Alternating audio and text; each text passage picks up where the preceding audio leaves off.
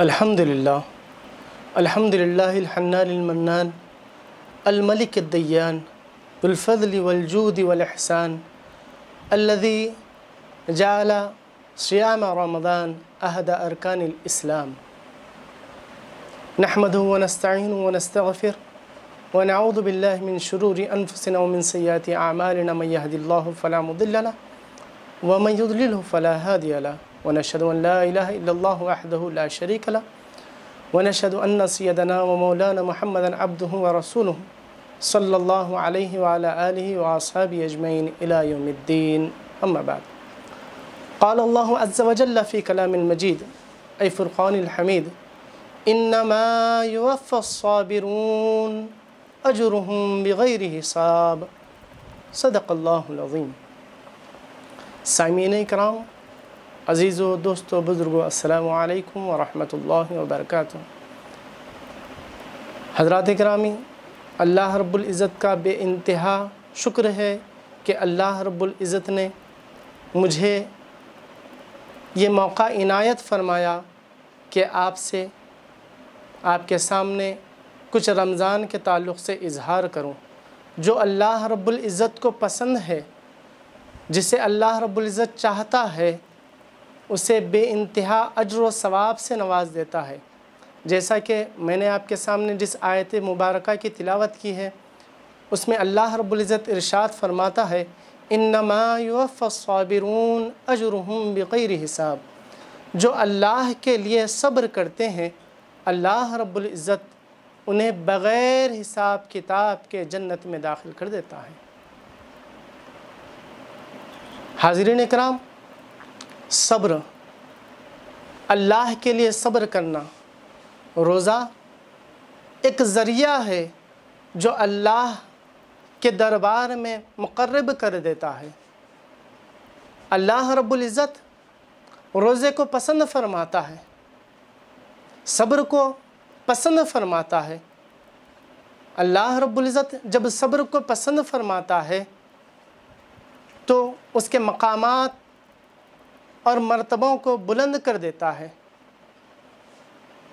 साबिरीन के लिए, जैसा कि आपने आयत मुबारक समात फरमाई, कि बहुत बहुत ज़्यादा अनगिनत अल्लाह रब्बुल-इज़्ज़त उन्हें अजर से सरफराज फरमाएगा। हजरात करामी रोज़ा जो ज़रिया है सब्र का, इसमें अल्लाह रब्बुल-इज़्ज़त हमें सब्र करना सिखाता है। जिस चीज़ को अल्लाह रब्बुल-इज़्ज़त पसंद फरमाता है वह है अल्लाह के खातिर बंदा उसके सिफ़ात को इख्तियार करे।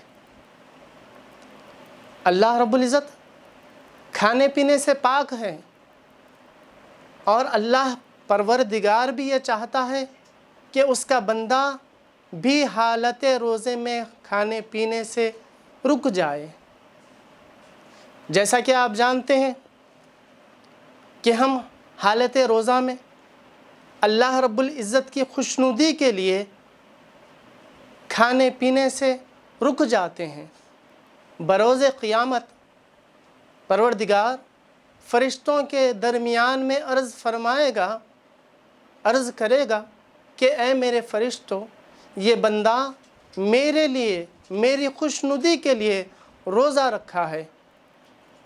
और इसका अज्र क्या हो तो फरिश्ते कहेंगे मौला करीम, तू परवरदिगार है। मौला करीम, बंदा अपने मकाम व मरतबे के अतबार से, बंदा अपनी हद के अतबार से तुझको राज़ी करने के लिए इन चीज़ों से रुका रहा। परवरदिगार, तू तो खालिक कायनात है। ऐ मेरे परवरदिगार, तू तेरी शान के मुताबिक उस बंदे को नवाज़ दे। जैसा कि अहादिस मुबारक में वारिद हुआ है, आका सल्लल्लाहु अलैहि वसल्लम इरशाद फरमाते हैं कि लिस्साइम फ़रहतान। फ़रहतुन इंदा फ़ित्री व फ़रहतुन इंदा लिक़ाई रब्बी। के रोज़ेदार के लिए दो खुशियाँ हैं, दो अज्र हैं। पहला अज्र ये है कि जब वो दिन भर भूखा प्यासा होते हुए अल्लाह की खुशनुदी के लिए, परवरदिगार आलम की खुशनुदी के लिए, उसके तकर्रब हासिल करने के लिए रोज़ा रखता है तो साइम के लिए, रोज़ेदार के लिए इफ़ार के वक्त अल्लाह रब्ज़त एक खुशी से नवाजता है। हमारे हाथ में एक तराजू है कि जब बंदा रोज़े से हो और अल्लाह रब्ज़त का क़ुर्ब हासिल करने के लिए रोज़ा रहे तो जब वो रोज़ा खोलता है तो उसे एक तस्कीन, उसे खुशी मिलती है। इसी तरह रोज़ेदार के लिए दूसरी खुशी ये है कि वह बरोज़ क़ियामत अल्लाह रब्ज़त का दीदार करेगा। हज़रत करामी आका सल्लल्लाहु अलैहि वसल्लम इरशाद फरमाते हैं, इसके मुतालिक के हदीस कुदसी है, अल्लाह रब्ज़त आका सल्लल्लाहु अलैहि वसल्लम से इरशाद फरमाता है कि रोज़ा मेरे लिए है और रोज़े की जज़ा मैं दूँगा। असोमली व अना अजजीबी रोज़ा मेरे लिए है। आखा अल्लाह रब्ज़त क्यों फरमाया कि रोज़ा मेरे लिए है? इसलिए कि बंदे में वो सिफ़ात आते हैं कि बंदे में सब्र के सिफ़ात आते हैं, बंदे में समदियत के सिफ़ात आते हैं। बंदा गाली गलोज, किसी की बुराई करने से, किसी को तकलीफ़ देने से बाज रहता है। इसीलिए अल्लाह रब्ज़त ने फरमाया कि रोज़ा मेरे लिए है और उसकी जज़ा मैं दूँगा। उसकी जज़ा मैं दूँगा। इसके मुतालिक दो रिवायतें हैं। मुहदसिन इकराम फरमाते हैं कि उसकी जज़ा क्या होगी? तो मुहदसिन कराम कुतुब अहादीस में उसकी शरा फरमाते हैं कि उसकी जज़ा ये होगी कि बरोज़ क़ियामत अल्लाह रब्ज़त एक दस्तरखान बिछाएगा। एक दस्तरखान बिछवाएगा और हर नेमत को उस दस्तर पर रखेगा और अल्लाह रब्ज़त ख़ुद वहाँ पर जलवागर होगा। इससे बड़ी नेमत और क्या चाहिए? और रोज़ेदार के लिए? जो अल्लाह रब्बुल इज़्ज़त की खुशनुदी के लिए दिन भर रोज़ा रखता है तो बरोज़ क़ियामत अल्लाह रब्बुल इज़्ज़त क़ियामत की हौलनाकियों को उस रोज़ेदार पर से उठा लेगा। और अल्लाह रब्बुल इज़्ज़त उसे भूख और प्यास का एहसास नहीं होने देगा, क्योंकि वो अल्लाह के लिए दुनिया में रोज़ा रखा था, दुनिया में भूखा और प्यासा रहा था। हज़रत करामी आखिर सल्लल्लाहु अलैहि वसल्लम इरशाद फरमाते हैं कि जो शख्स अल्लाह के लिए रोज़ा रखे, अल्लाह की खुशनुदी के लिए रोज़ा रखे, ईमान और एहतसाब के साथ तो आका सल्लल्लाहु अलैहि वसल्लम इरशाद फरमाते हैं कि अल्लाह रब्बुल इज़्ज़त उसके तमाम पिछले गुनाहों को माफ़ फरमा देगा। अब ईमान है क्या? ईमान ये है कि बंदा अल्लाह रब्बुल इज़्ज़त को कलिम तय्यबा पर ईमान लाए। यानि नहीं है कोई मबूद सिवाय अल्लाह के और मोहम्मद सल्लल्लाहु अलैहि वसल्लम अल्लाह के बन, अल्लाह के रसूल हैं। इस पर ईमान लाए। ज़ुबान से अकरार भी करे और दिल से उसकी तस्दीक भी करे। और ईमान है क्या? ईमान के ताल्लुक़ से कहा जाता है कि जब बंदा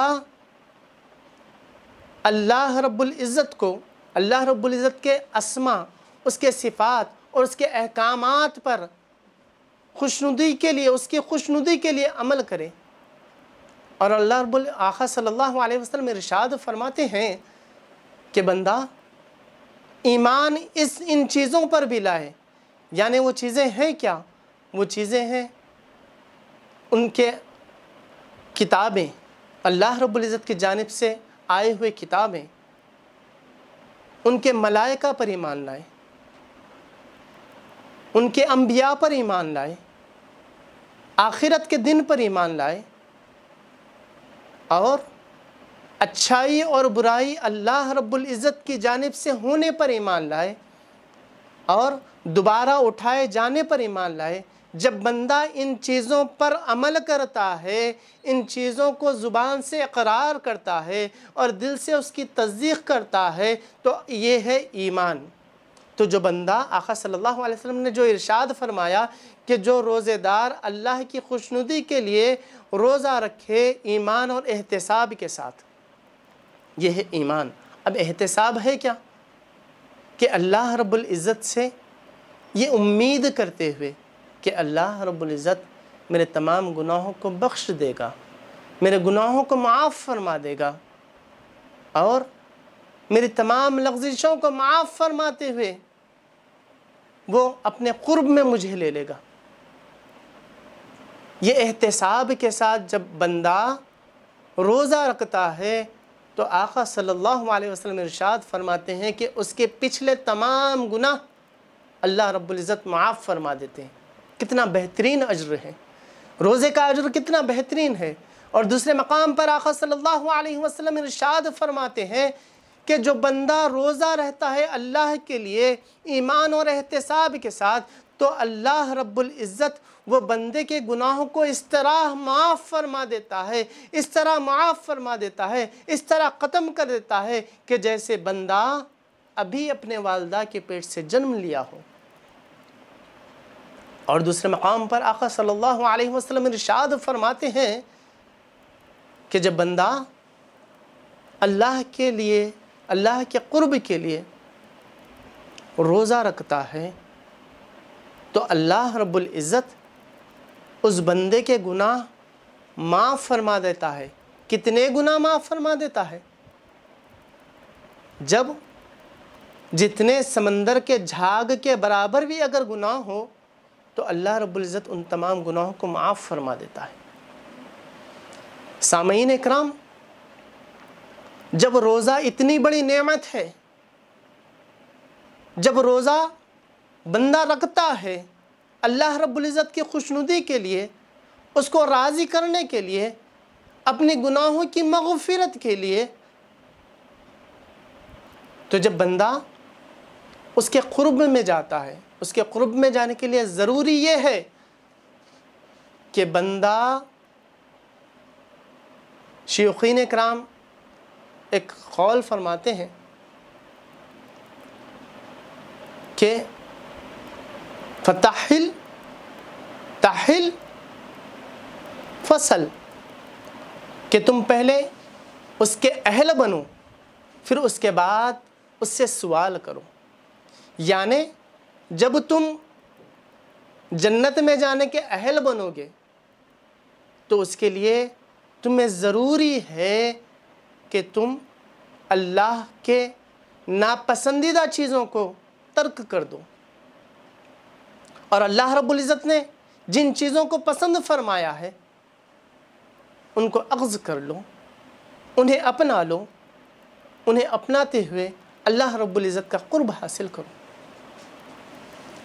हाजरीन कराम जब अल्लाह रब्बुल इज़्ज़त आपको ये फरमा रहा है कि रोज़े की जज़ा मैं ख़ुद दूँगा, अब रोज़े की जज़ा जब परवरदिगार आलम देने वाला है तो एक मिसाल के तहत हम समझेंगे कि जब बंदे को कोई शख्स, कोई अमीर शख्स, मालो ज़र रखने वाला शख्स ये कहेगे कि तुम मेरा फ़ला काम करो तो मैं तुम्हें कुछ दूँगा। तो बंदा एक तवक्को करता है कि फ़ला शख्स उतना अमीर है। तो मैं उसके मुताबिक मुझे फ़ला चीज़ अता फरमाएगा, मुझे पैसा देगा या मालो दौलत देगा। जब उससे बड़ा शख्स कहता है कि तुम मेरा फ़लाँ काम करो। मैं तुम्हें खुश कर दूँगा। मैं तुम्हें इसका अजर दूँगा। मैं तुम्हें इसके एवज़ कुछ दूँगा, जिससे तुम खुश हो जाओगे। तो बंदा एक तवक्को करता है कि वो शख्स जिसका काम मैं कर रहा हूँ, वो शख्स मुझे कितना देगा। एक तवक्को होती है। तो अल्लाह रब्बुल इज़्ज़त जब हमको ये फरमा रहा है कि तुम रोज़ा रखो रोज़ा रखो तो हम रोज़ा रख रहे हैं। तो और उसकी जज़ा मैं खुद दूँगा भी फरमा रहा है। अब वो जज़ा क्या होगी?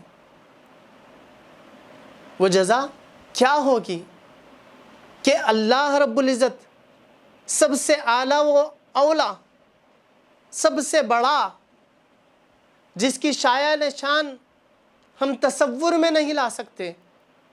जब वो फरमा रहा है कि उसका अजर मैं दूँगा, वो अजर क्या देगा? सबसे छोटा अजर।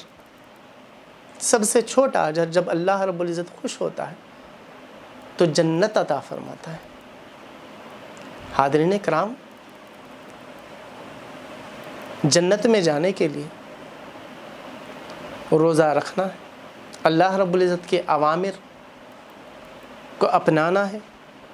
नवाही को तर्क करना है। जब बंदा ये तर्क करेगा तो अल्लाह रब्बुल इज़्ज़त उन्हें उस बंदे को अपना तकर्रब अता फरमाएगा। जैसा कि हाजरीन कराम हम चाहते हैं कि हमारा कल्ब साफ़ हो क्या आप चाहेंगे कि एक गंदी गिलास में आप पानी पिए? कोई नहीं चाहेगा कि एक गंदी गिलास में पानी पी तो अल्लाह रब्बुल इज़्ज़त हमारे इस गंदे कल्ब में जलवागर हो। उसकी शान कि हमारे गंदे कुलूब में जलवागर हो। नहीं, इस कल्ब को साफ़ करना पड़ेगा। अपने नफूस को साफ़ करना पड़ेगा। अपने नफूस को पाक करना पड़ेगा। दुनियावी ख्वाहिशात को तर्क करना पड़ेगा। झूठ को, गीबत को तर्क करना पड़ेगा। अल्लाह रब्बुल इज़्ज़त की खुशनुदी हासिल करना पड़ेगा। जब अल्लाह रब्बुल इज़्ज़त हमसे राज़ी हो जाएगा। जब राज़ी हो जाएगा तो इस हदीस का मफहूम जो है, मैंने जो पढ़ा है, अना अज्जी भी, मैं उसे जजा दूँगा। तो बरोज़ क़यामत अल्लाह रब्बुल इज़्ज़त अपने दीदार से मुशर्रफ फरमाएगा। हाजरीन कराम सबसे बड़ी नेमत है कि अल्लाह रब्बुल इज़्ज़त का दीदार करें। क्या ही मकाम है कि हम इस मकाम पर हैं कि उसको राज़ी कर रहे हैं रोज़े के ज़रिए से। तो अल्लाह रब्बुल इज़्ज़त अपने दीदार से हमें मुशर्रफ फरमा रहा है। अब जब उतना बड़ा हमें अल्लाह रब्बुल इज़्ज़त अजर नसीब फरमा रहा है, अजर दे रहा है तो उसके लिए मेहनत व मशक्क़त भी करनी पड़ेगी।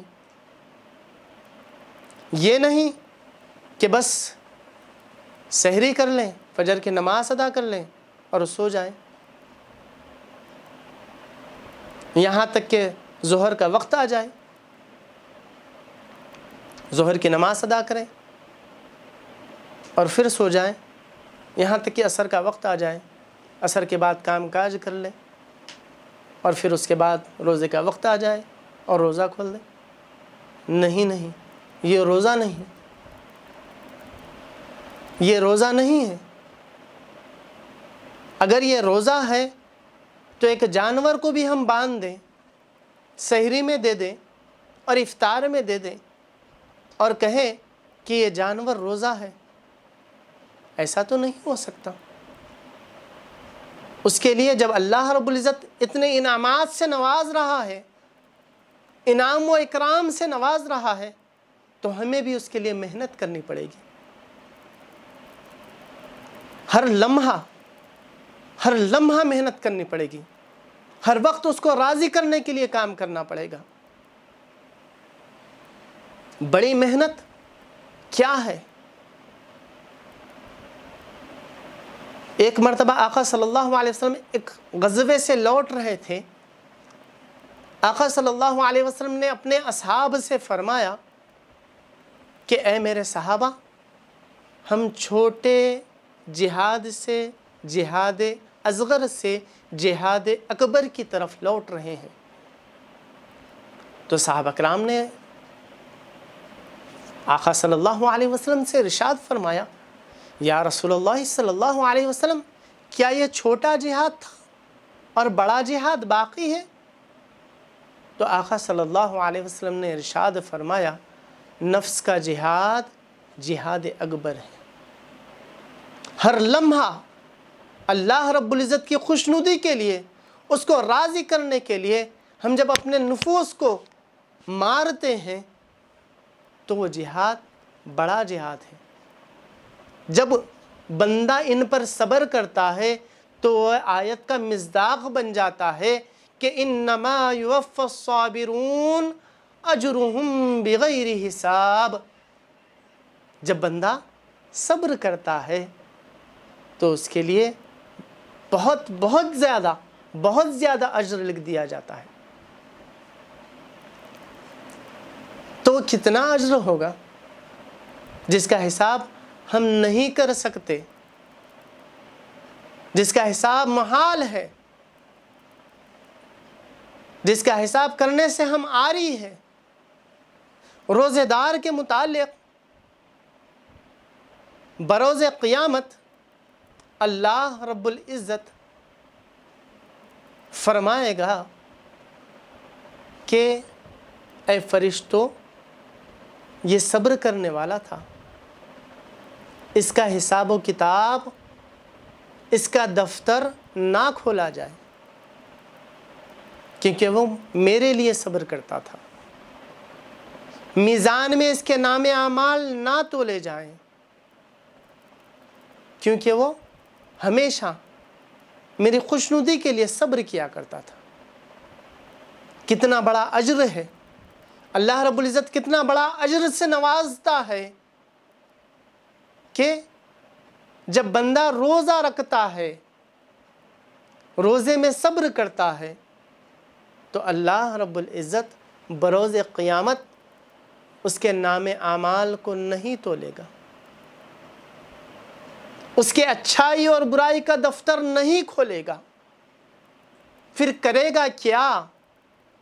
जब वो प्यासा होगा, भूखा होगा, प्यास और भूख की शिद्दत होगी उस पर तो बरोज़ क़ियामत परवरदिगार, उस पर से भूख और प्यास की शिद्दत को ख़त्म फरमा देगा।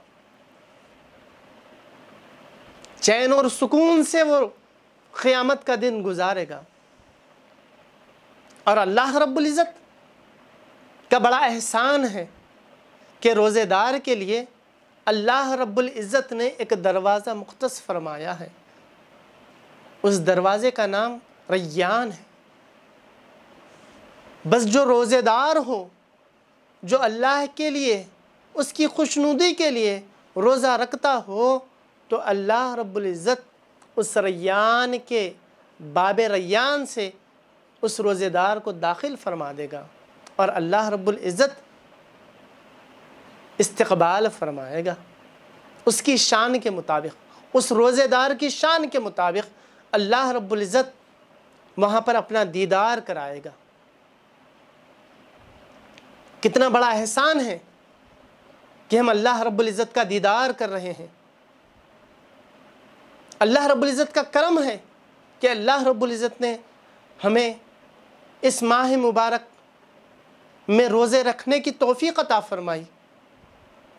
इस माह मुबारक में क़याम करने की तोफ़ी अता फ़रमाई।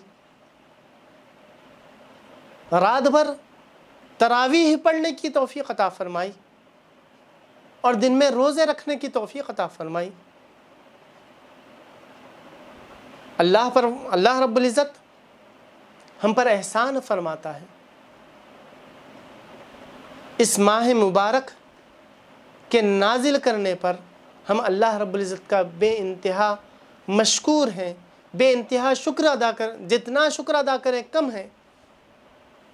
कि अल्लाह रब्ज़त ने अपनी जानब से ऐसे माह को भी हमें नवाजा कि जिसमें एक नेकी करने का बदला दस गुना, यहाँ तक के सत्तर गुना, और रिवायात में आता है कि सात सौ गुना तक बढ़ा दिया जाता है, जब बंदा एक नेकी करता है। तो आपके हाथ में है कि आप कितना अल्लाह रब्बुल इज़्ज़त के क़ुर्ब के लिए नेकियाँ करें। कलाम पाक पढ़िए आप। रिवायतों में आता है कि अलिफ लाम मीम जब बंदा पढ़ता है तो अलिफ लाम मीम एक हर्फ नहीं है, ये तीन हर्फ है। तो अल्लाह रब्बुल इज़्ज़त उस बंदे को तीस ने आता फरमाता है। यहाँ तक कि रिवायतों में आता है कि जो सात सौ नेकियाँ हैं, सात सौ नेकियाँ जो अल्लाह रब्बुल इज़्ज़त उसके नाम आमाल में लिख देता है, उसके भी तीन गुना ज़्यादा हो जाता है। बंदे की शौक़ के मुताबिक अल्लाह रब्बुल इज़्ज़त से लिखा के जो शौक़ हो, उस शौक़ में जब बंदा नेकी करता है तो अनगिनत उसके नाम आमाल में सवाब लिख दिया जाता है। तो हाजरीन कराम हमें भी चाहिए कि हम हमेशा अल्लाह रब्बुल इज़्ज़त के, को राज़ी करने के लिए, रमज़ानुल मुबारक के माह में उसकी खुशनुदी के लिए बग़ैर किसी रिया के रोज़े रखें। चूँकि बरोज़ क़यामत, जब बंदा दूसरे नेकियाँ करता है, जैसे नमाज़ पढ़ी ज़क़़त अदा की? किसी के साथ एहसान किया? किसी के साथ अच्छा सलूक किया? ये जो नेकियाँ हैं, ये जो हमारे नाम आमाल में लिख दिए जाते हैं, बरोज़ क़ियामत अगर हम उन के इवज़ किसी को कुछ कर्ज़ा बाकी था तो अल्लाह रब्बुल इज़्ज़त हमसे कहेगा कि उस कर्ज़े के एवज़ तुम तुम्हारे नेकियाँ दो। यहाँ तक के बंदे के नेकियाँ ख़त्म हो जाएँगे, बाज बाज के। अल्लाह हिफाजत फरमाए। लेकिन रोज़े का अजर चूँकि परवरदिगार खुद देने वाला है, ये अल्लाह और उसके बंदे के दरमियान में एक ताल्लुक़ है। कि अल्लाह रब्बुल इज़्ज़त बंदे को जो ताल्लुक़ है, वही जानता है कि बंदे का उससे कितना ताल्लुक़ है, कि बंदा उससे कितनी मोहब्बत करता है, वही जानता है। और दूसरे इबादात में रियाकारी हो सकती है, इसलिए रोज़े में रियाकारी नहीं है। जब बंदा रियाकारी करता है तो अल्लाह रब्बुल इज़्ज़त बरोज़ क़ियामत ऐसे रियाकार हफाद कराम शहदा को सर के बालों से घसीटता हुआ दो में डालेगा। जो रियाकारी करते हैं, बंदा कहेगा कि मौला करीम, मैंने तेरी रज़ा के लिए काम किया था। तुझको राज़ी करने के लिए मैं तेरा कलाम पढ़ता था। मैं तेरे दीन की खिदमत के लिए, तेरे दीन की खिदमत करता था, इल्म हासिल किया था, इल्म देता था। शहीद कहेगा, मैंने तेरे दीन की बका के लिए अपने सर को कटवा दिया। तो अल्लाह रब्बुल इज़्ज़त कहेगा कि, नहीं नहीं, तूने रियाकारी के लिए ये काम किया है।